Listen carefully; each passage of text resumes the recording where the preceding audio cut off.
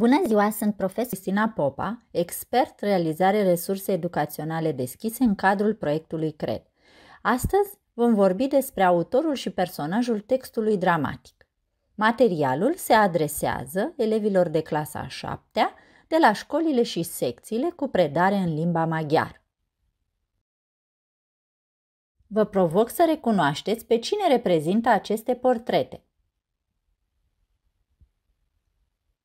Evident, v-ați dat seama, este vorba de scriitori, autori ai unor opere valoroase, persoane reale care au trăit într-o anumită perioadă, al căror nume apare pe coperțile cărților, Mihai Eminescu, Ion Luca Caragiale sau Peto Fișandor. Pe cine credeți că ar putea reprezenta titlul de pe coperta de mai jos, de deasupra numelui autorului? Ion Luca Caragiale, autorul Ființă Reală, Cănuță Om Sucit, evident personajul textului, care este rodul imaginației autorului, o ființă care trăiește în lumea ficțiunii. Personajele apar atât în textele narrative, cât și în textele dramatice.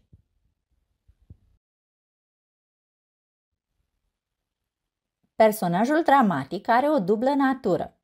Pe de o parte, este o invenție a autorului, o ființă ficțională, dar poate fi întruchipată de o ființă reală, actorul. Are trăsături distinctive. Un statut social, o vârstă, un nume, o istorie personală. Ca de exemplu, în opera lui Ile Caragiale, Conul Leonida față cu reacțiunea, lista de la începutul operei cuprinde Conul Leonida, pensionar, 60 de ani, Coana Efimița, consoarta lui, 56 de ani și Safta, slujnica lor. Atenție! Trăsăturile personajului dramatic pot fi prezentate direct de către autor în lista personajelor de la începutul textului sau din indicațiile scenice din interiorul textului, sau prezentate direct de către alte personaje sau chiar de personaj prin autocaracterizare. De asemenea, pot reieși indirect din indicațiile scenice sau tot indirect din ceea ce spune și cum spune personajul. Să observăm autorul și personajele textului următor. Autorul textului este Ile Caragiale. Ștefan Tipătescu, Ghiță Pristanda sunt personajele plasate în lista aflată înaintea textului. De asemenea, numele lor apar și înaintea fiecarei replici pe care o rostesc. Numele personajului, așadar, este așezat înaintea fiecarei replici. Statutul social apare încă de la început prefectul județului, polițaiul orașului.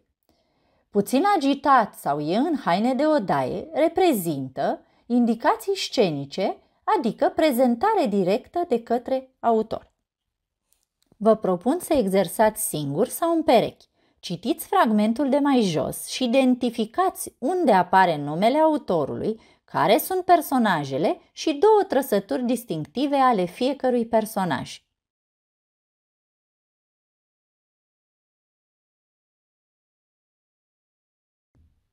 Andrei, cu fața înflorită de bucuria de sat de munte pe care i-o aduce prietenul lui.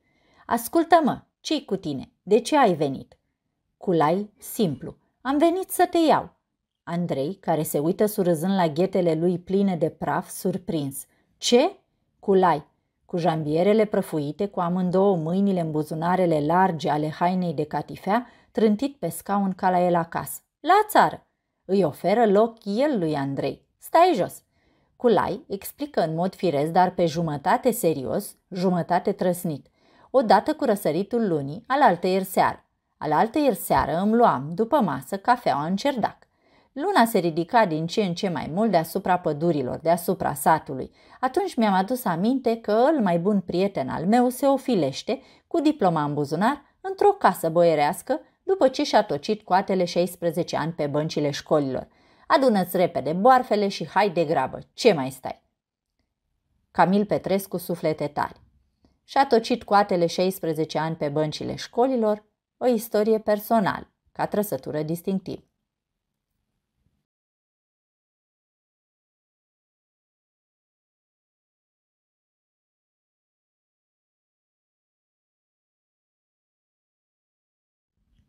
Vă urez lectură plăcută și succes!